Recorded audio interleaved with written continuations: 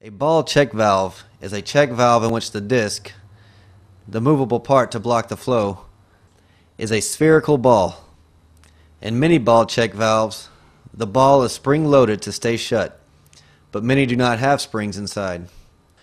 For those designs without a spring, reverse flow is required to move the ball toward the seat and create a seal. The seat of a ball check valve is conically tapered to guide the ball into the seat forming a positive seal when stopping reverse flow.